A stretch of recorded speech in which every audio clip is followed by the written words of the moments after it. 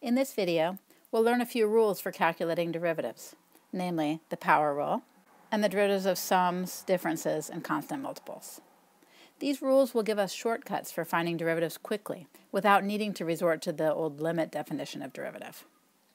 In this video, we'll only do statements of the rules and some examples. There won't be any proofs or justification for why the rules hold. Instead, these proofs will be in a separate later video. Let's start with some basics. First of all, if we have a constant, c, and we will have the function f of x equals c, so if I graph that, it's just going to be a straight horizontal line. So the derivative, df dx, ought to be 0, because the slope of the tangent line of this straight line is just 0. Another simple example is the derivative of the function f of x equals x. So again, if I draw the graph, it's just going to be a straight line with slope 1. And so the tangent line for this straight line will also have slope 1, and the derivative, f prime of x, has to be always equal to 1. These two simple examples are actually special cases of the power rule which is one of the most useful rules for calculating derivatives. So the power rule says that if you have the function y equals x to the n, where n is any real number, then you can find the derivative dy dx simply by pulling that exponent n down and multiplying it in the front, and then reducing the exponent by 1. So for example, if you want to calculate the derivative of y equals x to the 15th, dy dx here is just going to be 15 times x to the 15 minus 1, or 14. The second example, f of x equals the cube root of x, might not immediately look like an example where we can apply the power rule. But if we rewrite it, by putting the cube root in exponential notation as x to the one-third, now we can apply the power rule. We bring the one-third down multiply it on the front, and we reduce the exponent of one-third by 1. Well, one-third minus 1 is negative 2 thirds. So we found the derivative here using the power rule. We could rewrite it if we want to using exponent rules as 1 over 3x to the 2 thirds. Either answer is good. In the third example, g of x is 1 over x to the 3.7. Again, we need to do a little rewriting before we can apply the power rule. So I'm going to rewrite g of x as x to the minus 3.7 using exponent rules.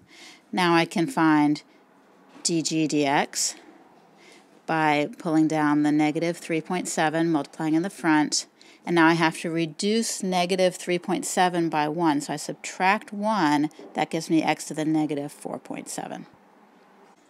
Again, I can rewrite this if I wish as negative 3.7 over x to the 4.7. It's important to notice that in all these examples, and in fact in any example where the power rule applies, the variable x is in the base and the exponent is just a constant, just a real number.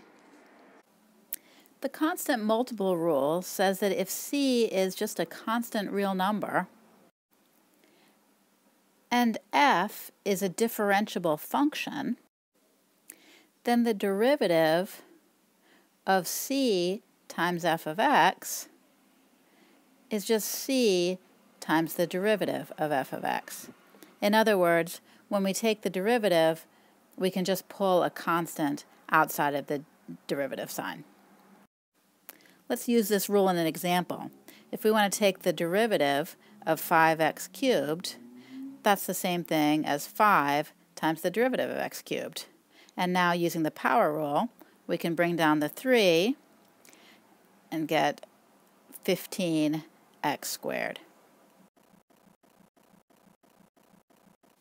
F and g are differentiable functions, then the derivative of f of x plus g of x is the derivative of f plus the derivative of g. Similarly, for a difference, if f and g are differentiable functions, then the derivative of the difference is just the difference of the derivatives. Now let's use all these rules together to calculate the derivative of this polynomial. To find dy dx, we can use the sum and difference rule to calculate the derivative of each term separately.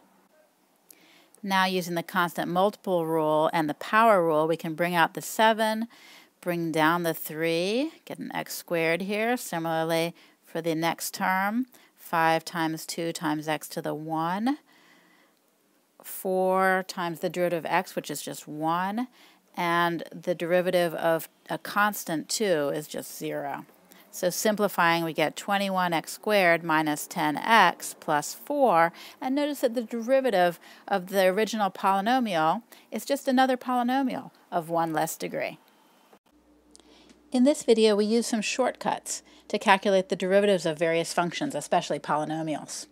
If you're interested in seeing where these rules come from, how they're derived from the limit definition of derivative, then look for another video coming soon on proofs.